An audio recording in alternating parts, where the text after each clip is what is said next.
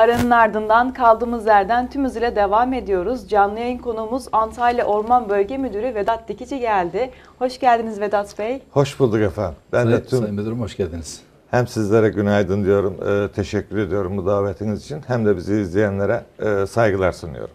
Çok teşekkür ediyoruz. E, ayağınıza sağlık diyoruz. Sosyal medyada bir iki yorum var. Onları da okuyalım. Daha sonrasında Tabii. devam edelim. Vehbi Kaya günaydın. Konuğunuza ve size başarılar diliyorum demiş. Çok teşekkür ediyoruz Vehbi Bey. Fatime Şimşek iyi yayınlar diliyorum demiş. Fatime Hanım'a da teşekkür ediyoruz. Evet müdürüm hoş geldiniz. Nasılsınız? iyi misiniz? İyiyiz. Yazın telaşına girdik. Yangınlarımız başladı. İşlerimiz devam ediyor. Pandemi bir taraftan yoğun bir şekilde çalışıyoruz. Pandemide nasıl durumunuz? Covid geçirdiniz mi? Covid geçirmedim. Allah'a şükürler olsun. E Ee, tabi normal değil mi? Yani bol oksijen böyle yeşillik, doğa. Bol oksijen de ben günlük aşağı yukarı 70-80 kişiyle görüştüğüm günler oluyor. Hiç tanımadığım insanlar her yerden gelen. Hiç hız kesmedik. Ee, Cenab- Cenab-ı Allah'ın takdiri demek ki ya da iyi tedbirimizi aldık. Ee, Allah devam iyileri ettik. korur derler ya. Demek İş- ki İnşallah. demek ki millete lazımsınız. Bu millete lazım olduğunuz için Cenab-ı Allah koruyor. Çok teşekkür ederim. Evet müdürüm yaz sezonu geldi. Evet. Yangın sezonu mu açıldı diyelim? Deniz sezonu mu açıldı diyelim? Ne diyelim? Evet bizim deniz sezonumuz yangın sezonunun aynı oluyor aşağı yukarı. Mayıs başından itibaren e, o hengame başlıyor. Aşağı yukarı Ekim sonuna kadar mevsimler biraz daha kaydı. Ekim sonuna kadar bu işlerle uğraşıyoruz. Ama bu sene biraz hızlı açtık gibi. Evet. İnşallah yazımız biraz daha rahat olur diye düşünüyorum. Yağmur yağmadı çok uzun süre. e, 3-4 gündür çok seviniyoruz. Meteoroloji bir gün sonraya yağmur veriyor. Artık bakıyoruz bakıyoruz. İşte yaz yağmuru biraz daha kuvvetli yağ verir diye bekliyoruz. O da olmuyor. Yangından ziyade yağmuru bir de şundan bekliyoruz. Çok fidan diktik. Evet. Çok fazla gençleştirme sahamız var. Bunların çimlenmesi lazım. Fidanların suya ihtiyacı var. Ee, o açıdan o da bizim için çok sıkıntı oldu. Yaklaşık 50-55 gün, 60 gün hiç yağmur yağmadı. Evet o da tabii ki etkiliyor. Evet. İster istemez. Çok fidan diktik dediniz. Antalya'da rakamsal anlamda ortaya koyabileceğiniz bir rakam var mı? Yani şu kadar, şu işte 1000, 2000, 3000 gibi. Şimdi Antalya Bölge Müdürlüğü üretim bölge müdürlüğü. Ağaçlandırma değil. Biz İç Anadolu gibi çok fazla boş alana sahip değiliz. Bir kere Antalya ormanlarını tanıtırsak %56'sı Antalya'nın orman. Türkiye'de bir ilin sahip olduğu en fazla orman varlığı Antalya'da. Yani büyük bir vilayetiz ve bunun %56'sı orman. Allah'a şükürler olsun bu %56'nın da çok büyük bölümü güzel orman, verimli orman, kapalı orman. Onun için biz üretimle alakalıyız. Yani ormanlarımızı sürekli yeniliyoruz. Yaşlılarını kesiyoruz. Hem ekonomiye kazandırıyoruz hem onları gençleştiriyoruz. İşte bir de bozuk alanları tekrar ağaçlandırıyoruz. Makineyle eğer e, burayı işleyebiliyorsak burayı hızlı orman yetiştirmek adına endüstriyel plantasyon dediğimiz bir yöntem uyguluyoruz. E, bir de tabii yangın var malumunuz. Her sene biz e, ortalama 600 ile 1000 hektar arasında bir yangına maruz kalıyoruz. Buraları da ağaçlandırınca e, yıllık e, 1600 fidan diktiğimizi düşünün ortalama. E, yani yaklaşık biz her yıl 400-500 binin üzerinde fidan dikiyoruz. Çok ciddi rakam. Tabii ama bu yangın büyürse tabii bu rakam da çok artıyor. Evet. E, fidanlıklarımız var iki tane. Hem Antalya merkezde çevre yolunda hem Elmalı'da yüksek rakım fidanlığı olarak kullandığımız iki tane fidanlığımız var. Yaklaşık her yıl 4 milyon fidan yetiştiriyoruz. Bu fidan yetiştirme e, sadece siz kendiniz dikmek için mi vatandaşlara da veriyor musunuz? Dağıtıyoruz tabii. Yıl boyu dağıtıyoruz. İsteyene satıyoruz. Ya bizim düşüncemiz şu. Biz fidanı yetiştiriyoruz. Özellikle orman ağaçları üzerinde bizim ihtisasımız. Yani süs bitkisinden ziyade. Biz fidan dikilsin de nereye dikilirse dikilsin. Ülkenin her yeri bizim. Evet. Ormana da dikilse bizim. Köyün içine de dikilse bizim. Çeşmenin başına da diksek bizim. Şehrin içinde binanın önüne de diksek bizim. Yeter ki ülkemiz yeşillensin. O açıdan isteyen herkese fidan veriyoruz. Güzel. Peki Vedat Bey bu orman yangınlarıyla ilgili 80 kilometreden dumanı tespit edebilecek insansız bir hava aracı e, yapılmış yeni galiba. Bununla Evet. ilgili bilgilendirebilir misiniz bizi? Geçen yıl bakanlığımız e, gözetlemede ve orman yangınlarına erken müdahalede hem de yangın söndürmedeki yangının durumuyla alakalı bize bir bilgi versin diye İHA'ları denemek istedik. Bir tane geçen yıl İHA e, Akhisar'da konuşlandırıldı. E, lazım olan yere de yönlendirildi ama genelde Muğla, Aydın, İzmir ağırlıklı olmak üzere İHA ile gözetleme yapıldı. Bundan bir verim elde ettik. Bu yıl dört tane İHA kiralıyoruz. E, bütün Ege bölgesiyle Adana'ya kadar olan bandı gözetlemeyi e, umuyoruz.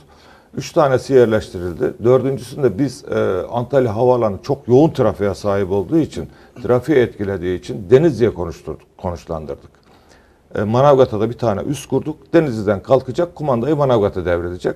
Antalya'yı gözetleyecekti. Ama bir mesafeden dolayı e, zaman kaybımız oluyor.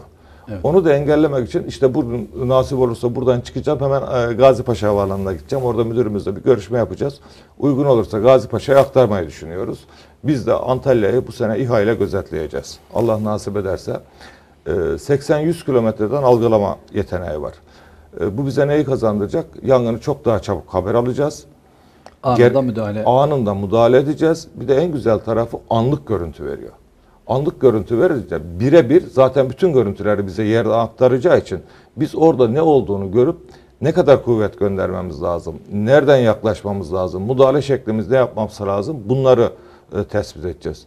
Bir de inşallah benim umudum e, kötü niyetli kişilerin görüntüsünü alabilirsek bu Evet. sene daha farklı bir uygulamaya geçeriz diye umuyorum. Yani orman yangınlarının sabotaj sonucu oluşan Evet. kötü niyetlilerden bahsediyorsunuz. Evet. Çünkü görüntü birebir anlık olduğu için e, çok da güzel kameralara sahip. E, belki böyle bir şey de e, umuyorum. İnşallah e, kötü niyetlere de engel olacak diye de düşünüyorum. İnşallah ihtiyaç da olmaz diyelim. İnşallah. Yangının Peki- sebepleri demişken zaten sizin açıklamanız vardı. Yangınların %95'inin insan kaynaklı Evet. olduğunu dile getirmiştiniz. Bununla ilgili peki e, yasalar var mı? Çalışmalar yapılıyor mu? Şimdi istatistikler tutuyoruz yıllardır. Biz aşağı yukarı e, 60-70 yıldır bütün istatistikler elimizde. Şimdi baktığımızda orman yangınının sebebinin %95'i insan. İnsan harici yangın nerede çıkıyor? Yıldırımdan dolayı çıkıyor. Onun dışında doğada durup dururken kendisinden bir ateş oluşup yangın meydana gelmez. İnsanın da çeşitli e, kategorileri var. İhmalden çıkan yangınlarımız var. Bunlar büyük ağırlıklı. Bizim sebebini tespit edemediğimiz yangınlar var. Çünkü çok büyük bir alanda çalışıyoruz ve e, yangın ne varsa yakıp geçtiği için bazılarının sebebini bilemiyoruz. Kasıt olduğunu düşündüğümüz, bazen de tespit ettiğimiz yangınlar var. Ama bunların bütün e, anası insan. İşte geçenlerde e, iki gün, üç gün e, hemen hemen Temmuz, Ağustos sıcaklığını yaşadık hafta sonu. E, aşırı bir poyraz vardı. 39 dereceleri gördük Mayıs ayının içerisinde. E, ne oldu? İki günde 22 tane yangın çıktı. Sebebi, sebebi de tamamen insan. Tarla temizliği, anız yakan, bir yerde pikniğe gidip ateşini bırakan hep insan kaynaklı. İki günde 22 tane yangına gittik. Yani düşünün.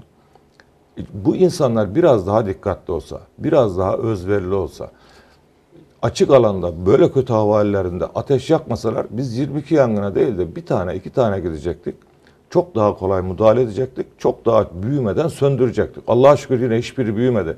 Mevsimin de bize yardımıyla beraber ama e, her şeyin başı insan. Evet, son dönemlerde yangınların özellikle geçtiğimiz yıllarda ki biz ilk mesleğe başladığımız yıllarda çok daha farklı oluyordu orman yangınları. Daha da büyük alanlar yanıyordu. Son dönemlerde biraz daha bu azaldı. Baktığımız zaman yangınlara evet anında müdahale olmasa bile çok büyük yangınlar olmuyor. Bunun teknolojinin imkanlarından yararlanmasıyla da etkisi var mı? Tabii. Şimdi ben 35 yılın üzerinde ormancıyım. Ben ilk mesleğe girdiğimde yangını tırmıkla tarayla söndürüyorduk. Evet. Bir yerde ekibimiz vardı. 40 kişi, 50 kişi bir kamyonun üstüne yüklerdik. Nerede yangın çıktı git. Hep insan gücüyle söndürdük. Daha sonra arazözler çıktı. Arkasından hava araçları çıktı. Şimdi ilk müdahalenin önemi çok fazla. Yani bir yere e, denemek için bir ateş yakın. 3 dakika, 5 dakika, 10 dakika baktınız 15 dakikadan sonra zaten o belli bir şeye gelir. Biz bu yangını çok çabuk haber alırsak, müdahaleyi erken yapabilirsek hani e, büyümeden söndürme şansımız var. Ama yangın belli bir büyüklüğe ulaştıktan sonra artık sizin onunla mücadele etmeniz için de onun kadar gücü oraya getirmeniz lazım. Bu da belli bir zaman alır. İşte yangınlar da büyüyor. Yangının büyümesinin en büyük ana sebebi hava halleri. Eğer nem 40 yüzde 40'ın altına düştü. Hava sıcaklığı 35 derecenin üstünde. Rüzgar da 20 kilometrenin üstüne çıktıysa işiniz zor. Hele hele ulaşım da çok önemlidir.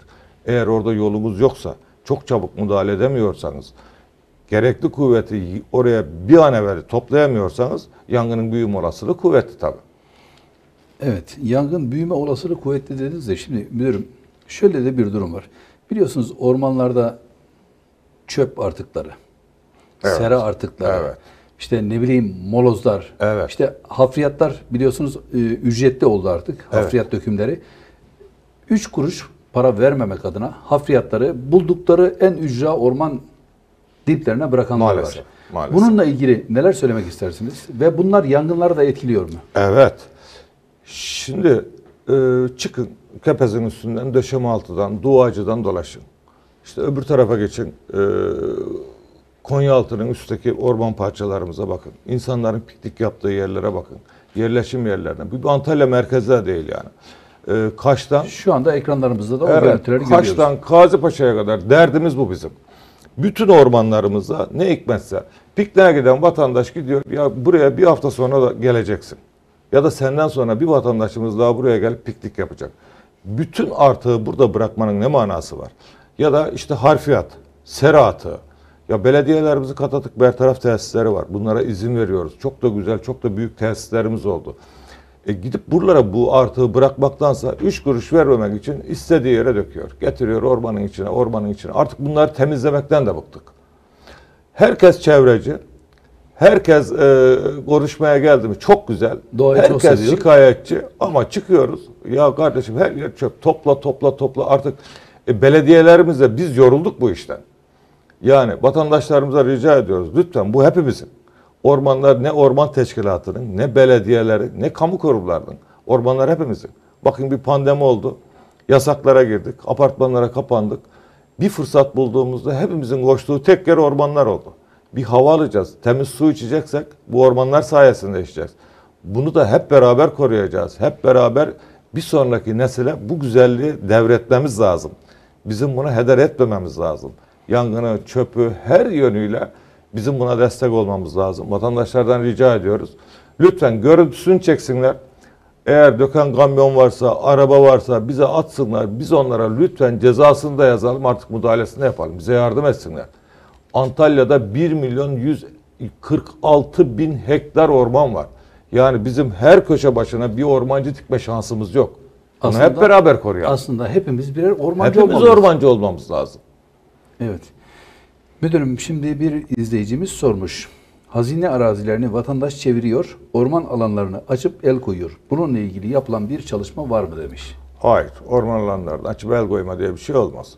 Biz orman alanları or- anayasadan aldığımız yetkiyle, orman kanunun bize verdiği görevle orman alanlarında hiç kimse aşma yapamaz. Şimdi orman alanlarını açma derken tabii ki örnek veriyorum. Düzler Çamana gidip de oraya bir alan açmadan bahsetmiyoruz. Muhtemelen vatandaş da onu E, bahsediyordur. zabıt tutuyoruz zaten. Yüzlerce zabıt tutuyoruz yıllık. Sor- sormak istediği, varsa. sormak istediği o Tabii, zannediyorum. Şimdi tabii. arazisinin kenarında orman var. Evet. Yavaş yavaş genişletmeye başlıyor. Biliyorsunuz bir yıl iki ağaç, ertesi yıl üç ağaç derken bir bakıyorsunuz adamın beş dönüm yeri olmuş 15 dönüm.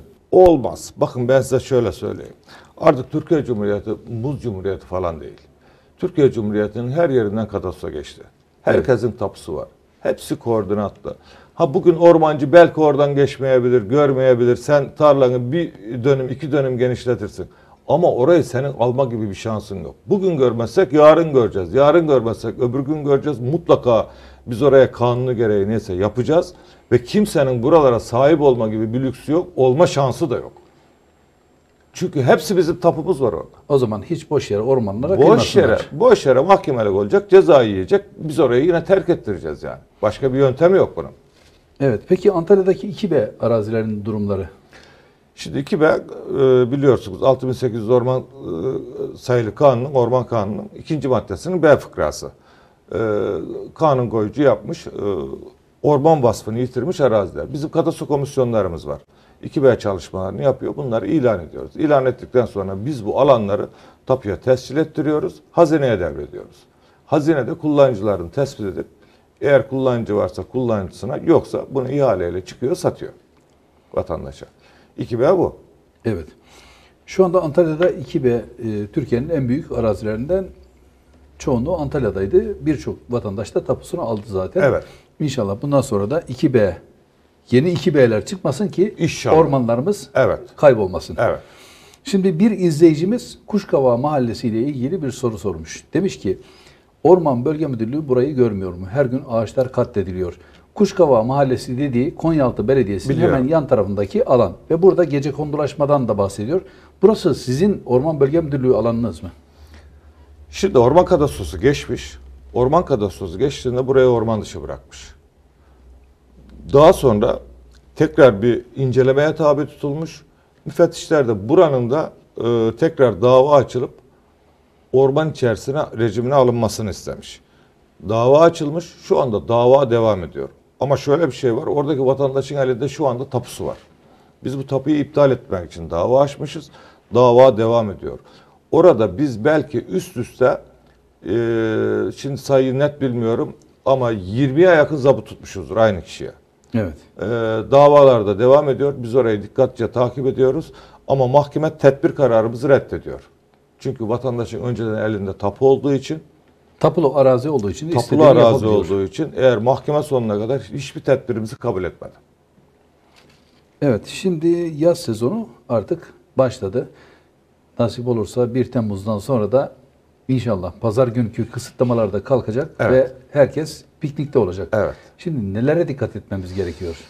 Şimdi bir kere piknik yaparken şu ateşli piknik işini bir şekilde bizim piknik mesire yerleri dışında yapmayalım. Biz Antalya'da 145 tane piknik mesire yeri kurduk. Evet. Hala da kurmaya devam ediyoruz. Şehirlere yakın insanların e, teveccüh gösterip hafta sonları veya diğer günlerde pikniğe gittiği bütün alanlarda piknik mesire yeri kuruyoruz. Ya belediyelere tahsisen veriyoruz ya ihale, ihaleye çıkarıp müstecirlere verip işletilmesini sağlıyoruz. Bundaki tek derdimiz de şu. Eğer vatandaş pikniğe gidecekse kontrollü bir yere gitsin. Gittiğinde de bir hizmet alabilsin. Bir ihtiyacı olduğunda giderebilsin. Tuvaleti olsun, çeşmesi olsun, işte küçük bir yeri olsun ki bir çay içebilsin. Başka bir ihtiyacı varsa onu karşılayabilsin diye piknik mesire yerler kuruyoruz. Bunlar kontrollü. Ha buralarda işte mangal yakacak yerleri de özellikle ayarlıyoruz. Tedbirini alıyoruz. Ee, vatandaşımızın oradaki ihtiyaçlarını karşılıyoruz. Aynı zamanda da herhangi bir yangına veya olumsuzluğa karşı çalışanlar var. Bir tedbir alıyoruz. Lütfen ateşli piknik yapacaksak buralara gidelim. Ormanda rastgele ateşli piknik yapmayalım. Evet. Şimdi sera atıkları dediniz, işte bahçe temizleme dediniz. Geçenlerde de söyledim. Adam evden bir tane hortum çekiyor. Tamam? Yakıyor ateşi. E ben önlemini aldım burada müdürüm diyor. İşte bir şey olursa söndürürüm. Hortumu da çektim. Ya kardeşim biz oraya 8 tane arazözle gidiyoruz. 2 helikopter götürüyoruz. Bir uçak götürüyoruz. Yine söndüremiyoruz. 100 tane adam gönderiyoruz. Yine söndüremiyoruz. Yani senin hortumu bunu nasıl söndürsün? Bunu yakma dışarıda. Yakma. Yangın mevsimimiz geçsin. Ondan sonra ne yapacaksan yap. Ya da çok mecbursan bize haber ver. Biz başına arazöz gönderelim. Bir tedbir alalım yani. Bu adam mecbur. Başka yapacak bir şey kalmamış diyelim. Bir yardım edelim. Evet. Ama geçenlerde işte o 22 tane yangın çıktığı gün e, e, bir yere yangına müdahale ettik. Dönüyoruz. Ya evinin önünde ateşi yakmış. Hortum var elinde. Emin ol bir kaçırdı. Otun içinde evini zor kurtardık. Ben de tesadüf gördük ki havadan hemen aradığımız çağırdık. Müdahale etti. Emin ol kendi evini zor kurtardık. Yani insan kendi kendine bu eziyet eder mi ya? Lütfen.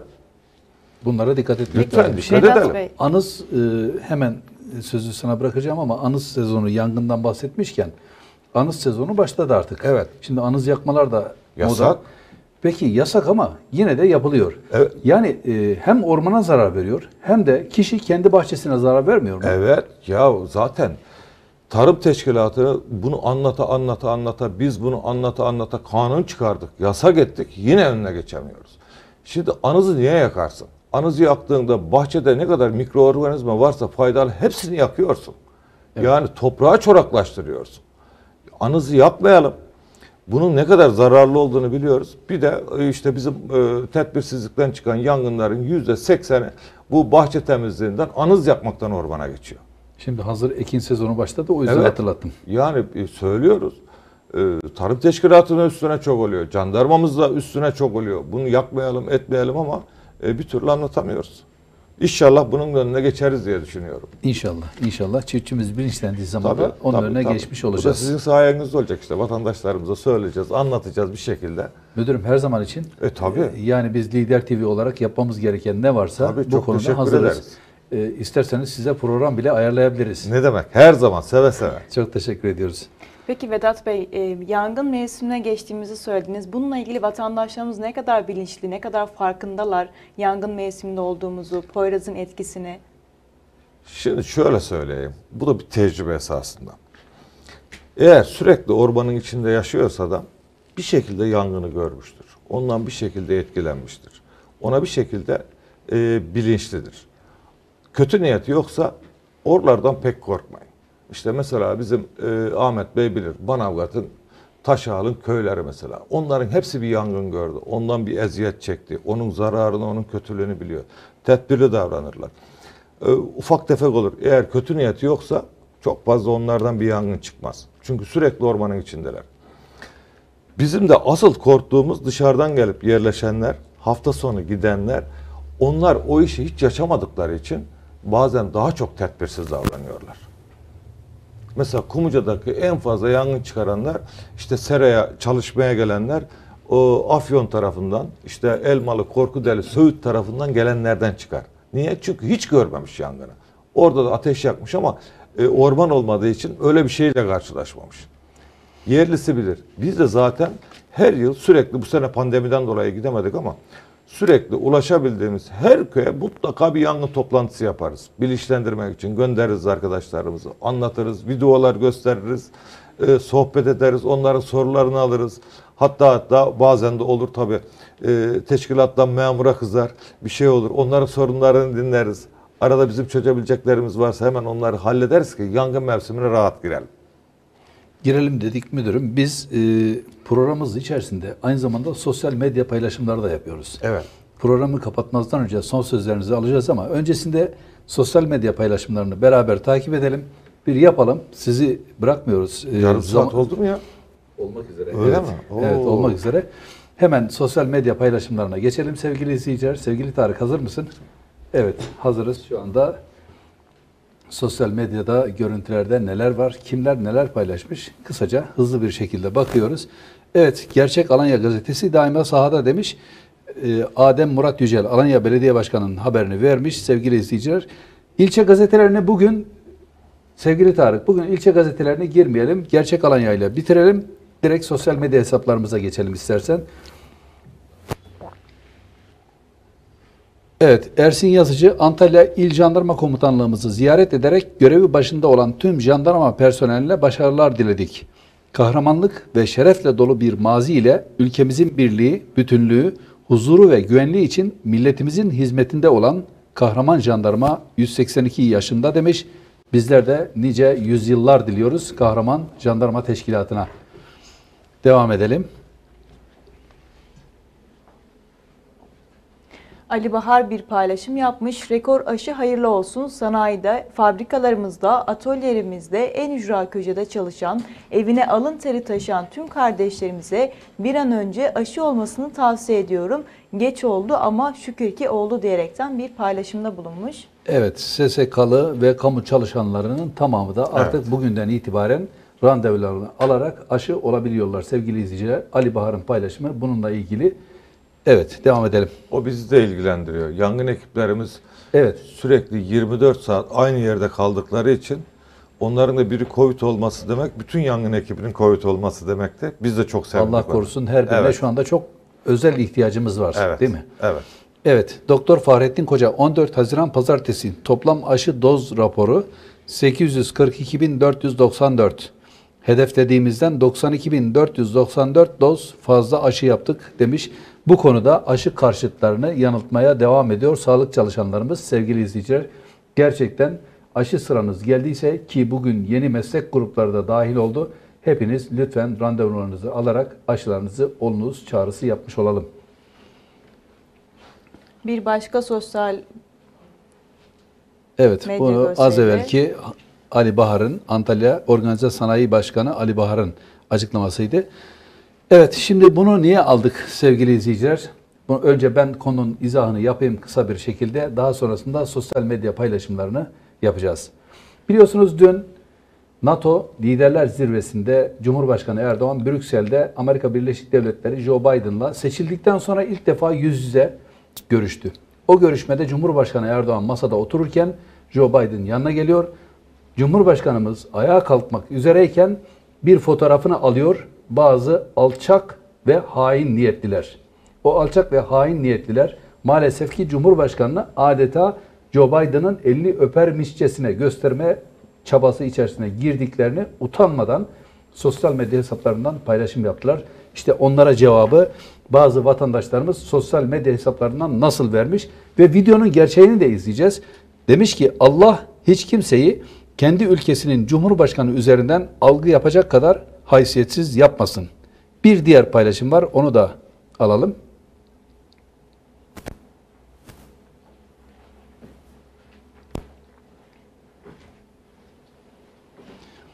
Evet, Sait Akgün. Sait Akgün sevgili izleyiciler kim olduğunu da söyleyeyim ben. Milliyetçi Hareket Partisi Genel Başkan Yardımcısı İsmail Özdemir. Kayseri Milletvekili İsmail Özdemir'in meclisteki danışmanı. Amerika Birleşik Devletleri Başkanı Biden masada oturmakta olan Cumhurbaşkanımızın yanına geliyor ve pandemi tokalaşması yaparken ve Recep Tayyip Erdoğan ayağa kalkmaya çalışırken çekilen bir kare ile sanki eline yapışmış gibi algı yapanlar gerçekten alçak ve şerefsizsiniz demiş. Evet, şimdi videoyu izleyelim mi? Hep birlikte videoyu izleyelim. Bakalım olayın aslı nasıl?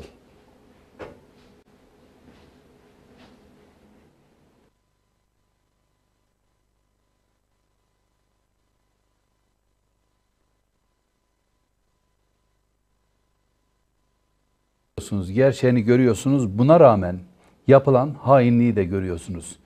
Şimdi bunlara Allah akıl fikir versin desek, acaba o aklı fikri nereye koyacaklar? Çünkü onlarda kafa yok. Yapmaları gereken bir tek şey var, kan testi yaptırsınlar. Hani denize dökülenler vardı ya, zannediyorum onlardan kalanlar bunlar. Allah bunlardan ülkemizi ve milletimizi korusun diyelim ve devam edelim. Evet, sosyal medya hesaplarımızdaki paylaşımları bu şekilde bitirdik. Sayın Müdürüm, son olarak vatandaşlarımıza neler söylemek istersiniz? Şimdi biz devlet olarak özellikle Cumhurbaşkanımız, Bakanımız, Genel Müdürlüğümüz bu iş için hiçbir şey sakınmıyorlar. Emin olun e, Orman Genel Müdürlüğü ne talep ederse hepsi hemen hemen tamamı yerine getiriliyor. Ve bir de Orman Genel Müdürlüğü'nün şöyle bir özelliği var. Biz bu yıl ETR, Elektronik Türkiye Ödülünü de aldı Genel Müdürlüğümüz. Ee, biz elimizden gelen her türlü çabayı gösteriyoruz. Şimdi 2000 tane daha yangın için işçi alıyoruz. Ee, ilanlarına çıktık. Antalya'da da her ilçede alacağız. Ee, eğer işçe müracaat etmek isteyen arkadaşlarımız varsa İşkur'a müracaat nereye müracaat edecekler? İşkur'a. İşkur aracılığıyla. Mevsimlik mi bu arkadaşlar yoksa Evet sürekli mi olacak? mevsimlik. 5 ay 29 gün diye alıyoruz. Her yıl 4 ay uzatılıyor aşağı yukarı. 10 ay gibi falan.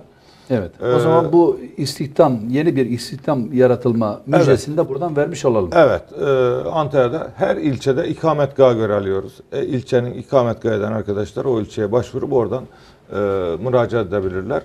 Her türlü imkan bizde var. Biz yangın söndürme yönünde Allah'a şükürler olsun her şeye sahibiz. Bütün gücümüz de var. Elimizden geldiğince de e, büyütmeden söndürmek için bütün çabaya harcıyoruz. E, Antalya Bölge Müdürlüğü bin tane işçisiyle, 600 memuruyla bütün yaz bu yangınla uğraşıyor. Ama yangında iki, üç tane bizim stratejimiz var. Bir önlemek, iki söndürmek, üç yanan sahaları tekrar orman haline getirmek, rehabilitasyonunu yapmak. Söndürmede e, orman gönüllüsü olabilirler.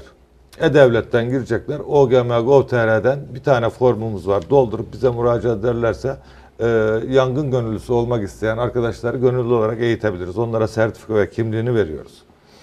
Vatandaşlardan bizim tek ricamız şu. Antalya'da yıllık 250 ile 300 yangın her yıl e, maalesef istatistiklere göre çıkıyor. Eğer biz dikkatli olursak, bunun %30'unu engelleyebilirsek biz 300 değil 200 de 180 yangınla uğraşacağız. Bunu söndürmemiz daha kolay olacak. Hem de kaybımız az olacak. Bunu baştan hep beraber yaparsak inşallah sonucu da güzel olur. İnşallah. Cenab-ı Allah kazasız, belasız, cana, mala, ülkemize bir hasar vermeden güzel bir yaz sezonu atlatırız. İnşallah. Herkes tatilinde olur, neşesinde olur. Bu pandemiden sonra biraz rahatladık. İnşallah bu huzurumuz bozulmadan bir de yangın belasıyla uğraşmadan devam ederiz. Yangın şunu unutmayalım. Bütün felaketler insan eliyle değildir. Depremi insan çıkaramaz, seli insan yapamaz. Ama yangını insan yapıyor. Lütfen dikkat edelim. Kendi elimizde bir felaket meydana getirmeyelim. Yangın 300 santigrat derece sıcaklığında devasa bir kütleyle nasıl hareket edeceğini, nereye gideceğini, sonunun ne olduğunu bilmediğimiz bir şey. Lütfen buna karşı biz kendimiz tedbirimizi alalım ki bu felaketten de kurtulalım. Çok teşekkür ediyorum. Müdürüm. Ben teşekkür ederim. sağlık. Bize verdiğiniz imkan için e, çok teşekkür ediyorum. İnşallah tekrar çağırırsınız, biz de tekrar geliriz. İnşallah. Her Evet, zaman kapımız açıktır. Çünkü pandemide biz vatandaşımızla ulaşamadık. Sizin sayenizde ulaşacağız. Bu imkanları verdiğiniz için çok teşekkür ediyorum. Yayın hayatınızda başarılar diliyorum. Çok teşekkür Bizi ediyoruz. izleyenlere de Biz saygılar olun. Bizler de sizlere başarılar diliyoruz. Yangınsız bir sezon diliyoruz. Amin. İnşallah da öyle olur diyelim. Amin. Evet sevgili izleyiciler bugünlük de bize ayrılan sürenin sonuna geldik. Yarın sabah 8.30'da tekrar birlikte olabilmek dileğiyle sağlıklı ve mutlu kalın sevgili izleyiciler. Efendim liderle gün başlıyorum. Bugün sonuna geldik. Yarın tekrar görüşmek dileğiyle sağlıklı ve mutlu kalın.